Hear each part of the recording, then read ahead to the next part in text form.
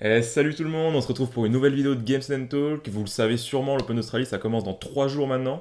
Euh, ce matin il y avait le tirage au sort, c'est l'occasion de faire une petite vidéo pour débriefer tout ça, c'est parti. Voilà, donc ça va être l'occasion, comme je vous le disais, de, débriefer un peu ce tirage au sort. L'Open Australie, ça commence dimanche à 1h heure française. Euh, voilà, on pensait avoir une, euh, on le disait depuis plusieurs mois, une édition 2018 euh, de l'Open Australie complètement folle, avec les retours de, plusieurs joueurs, comme bah, entre autres Murray, Djokovic, qui avaient mis un terme à leur, à leur saison assez tôt, en 2016, en 2017 plutôt, pour faire comme, comme Federer et revenir ensuite. alors ça va peut-être pas être fou dans ce sens-là, puisque on sait que Murray a déclaré forfait pour des problèmes à la hanche. Il y a également Nishikori qui est forfait. On en parlait dans une vidéo, de fait, il y a, il y a quelques jours sur les blessures un peu liées, au tennis. Mais euh, voilà, plusieurs forfaits, plusieurs joueurs incertains aussi, incertains ou diminués. C'est le cas de Vavrinka, euh, de Djokovic, de Nadal même, qui est toujours un petit peu blessé euh, à son genou. Donc, donc voilà, on pensait vraiment que tous les joueurs allaient arriver au top, c'est pas le cas.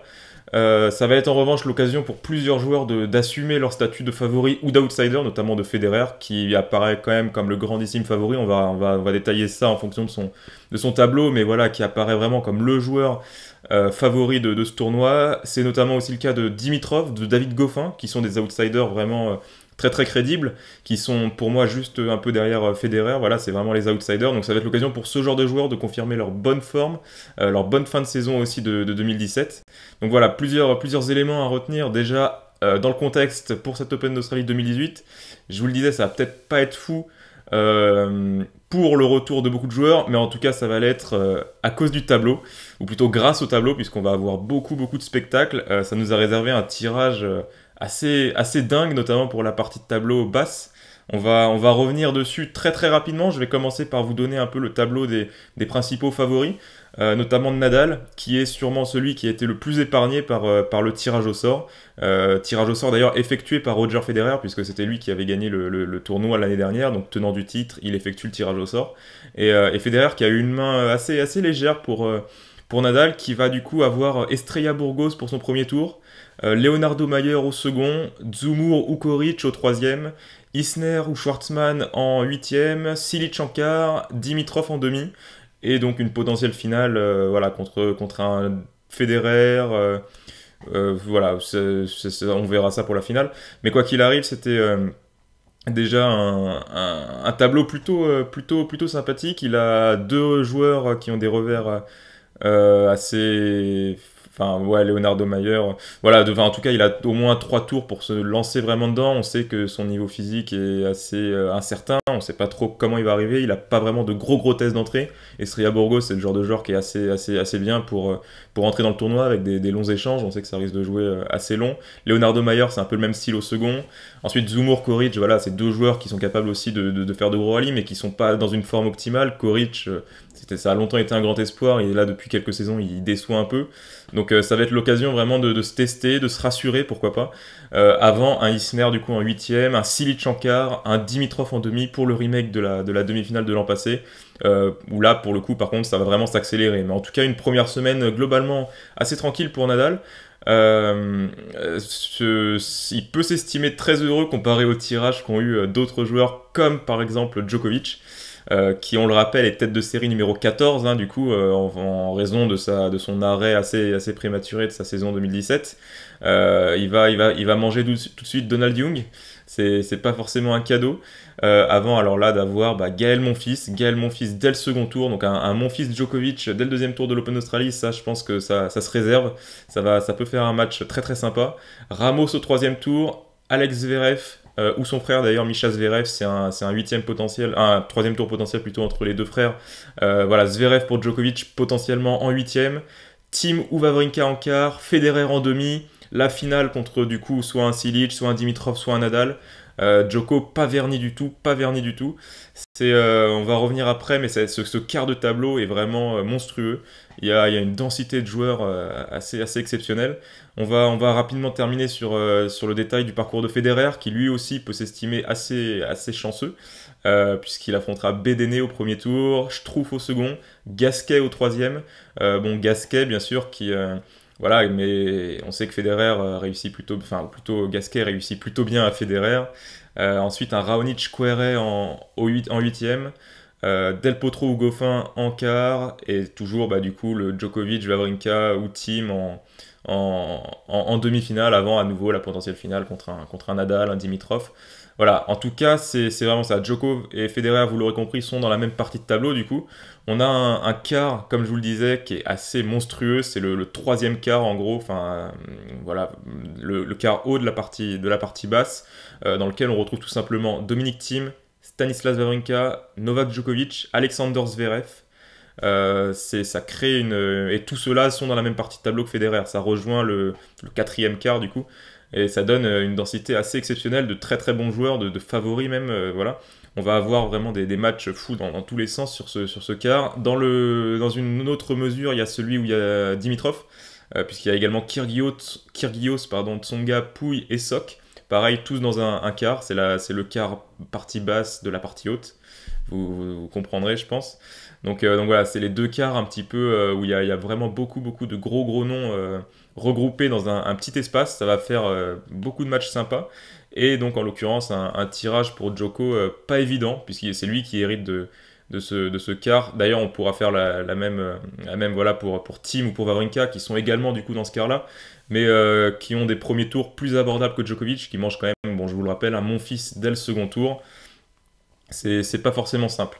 Côté français, on a Tsonga Kyrgios dès le troisième tour. Tsonga pas forcément épargné non plus, je vous le disais dans la partie de tableau euh, avec euh, Dimitrov, avec Pouille, avec Sok. Euh, c'est pas, forcément un cadeau. On a un Pouille Anderson également dès le troisième tour. Anderson finaliste à l'US Open 2016, 2017. Pardon. Donc, donc voilà, pas vraiment un cadeau pour Pouille. On suivra aussi Simon, qui a fait un, très, bah, du coup, qui a très bien joué sur la première, première semaine de la saison en remportant le titre. Kyrgios, titré aussi à, Brisbane, qui est euh, du coup bah, l'adversaire de Tonga au troisième tour. C'est toujours pareil, c'est dans ce quart un peu fou. Euh, et pour rester du coup dans l'autre quart, celui de, Djokovic, de Wawrinka, de, de Tim, euh, on a je pense le, gagnant, le gagnant niveau tirage qui a vraiment décroché le gros lot, c'est Benoît Paire. Alors parce que Benoît Paire, voilà, si vous voulez parier sur lui pour le, pour le, pour le, pour le, en tant que vainqueur du tournoi, vous pouvez y aller. Je pense que la cote est sympathique puisqu'il va tout simplement devoir manger bah, Berdych dès le second tour, Del Potro au troisième tour, puis Goffin, puis Federer, puis le vainqueur du team Djokovic-Verev, puis Nadal en finale. Donc euh, voilà, Benoît, Benoît Père, on va lui souhaiter bonne chance. Il y a peu de chances qu'il aille, euh, ou alors s'il fait un gros tournoi, c'est que vraiment il, il aura, il pourra potentiellement prétendre à la victoire, mais il a le tableau, je pense, le plus compliqué de, tout le, de tout le tableau, tout simplement. Et, euh, et ça va pas être simple pour lui, c'est dommage puisqu'il avait aussi pas mal joué là depuis le début de saison. Euh, avec notamment une victoire contre Gilles Muller ce, matin, ce, jeudi matin.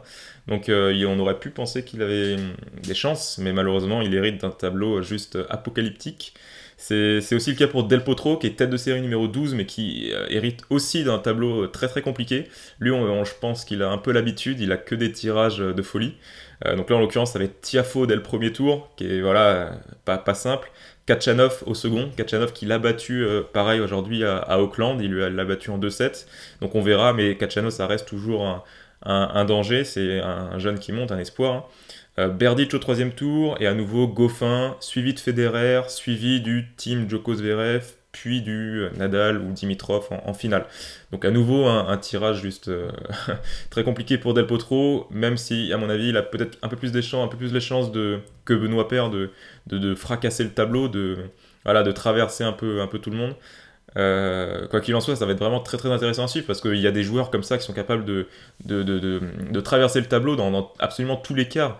Le, le, quart avec euh, Tim Wawrinka, Djoko Zverev, il y a du coup, euh, voilà, il y, a, des joueurs qui peuvent sortir. Si mon fils bat Djokovic dès le second tour, ça va créer un, sacré bordel dans le tableau, donc c'est, ça va être vraiment passionnant à suivre. On a, pour revenir sur, sur les adversaires de Del Potro, Berdych. Berdych, qui il a perdu assez tôt dans la première semaine de tournoi. Euh, il a gagné le tie-break tense, cette exhibition là où il y avait d'autres grands joueurs, Nadal et Witt.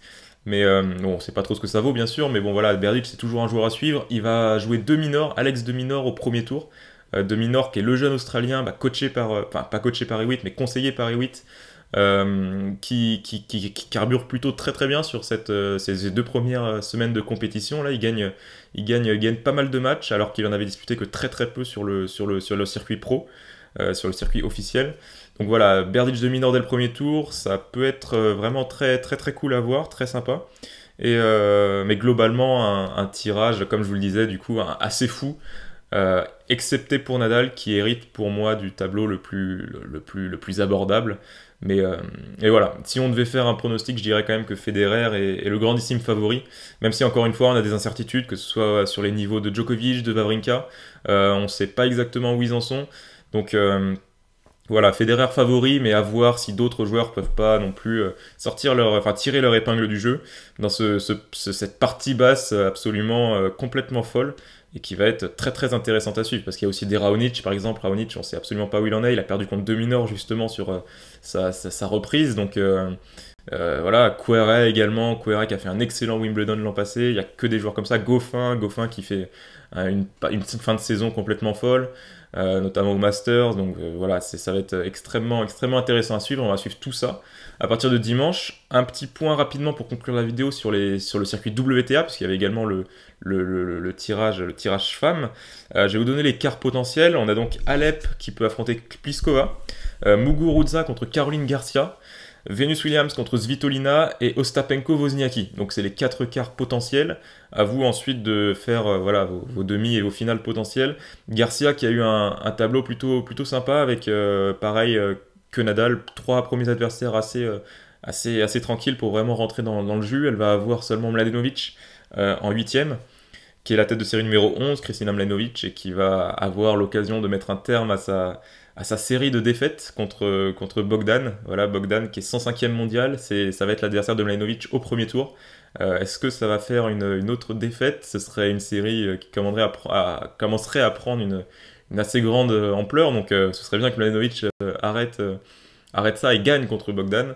Voilà, en tout cas, ce serait le, principal adver la, la principale adversaire de Garcia avant, avant les huitièmes et même avant les quarts, du coup, puisque elle a un tableau quand même relativement tranquille. On suivra aussi, bien sûr, le retour de Sharapova. Hein. Sharapova, c'était l'Open d'Australie, c'était le dernier majeur qu'elle a disputé avant sa suspension. Enfin, c'était en, 2016, on s'en souvient tous. Donc, euh, donc voilà, là c'est son grand retour aussi. Elle, euh, elle pas de, faire monter un peu la sauce sur les réseaux sociaux euh, avec des interviews, des, photos. On va, on va attendre de voir déjà son niveau, mais aussi comment elle appréhende ce retour. après voilà quelques mois de quelques quelques mois de suspension et même s'il est revenu l'an passé, redisputer l'Open d'Australie qui est un tournoi qu'elle aime particulièrement bien. là où elle avait ensuite été contrôlée positive à ce, à ce produit.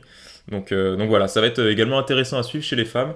On va de toute façon regarder tout ça. Chaque jour, vous aurez, euh, je pense que vous avez l'habitude maintenant pour chaque tournoi du Grand Chelem, des vidéos récapitulatives euh, après chaque journée, faites par l'ensemble de l'équipe. On est 7 maintenant, donc il va y avoir l'occasion de tourner, histoire de vraiment rien manquer, d'avoir des débriefs chaque jour, des matchs, des matchs intéressants, des matchs à suivre, à venir, quelques débats aussi éventuellement si jamais l'actualité le, le permet.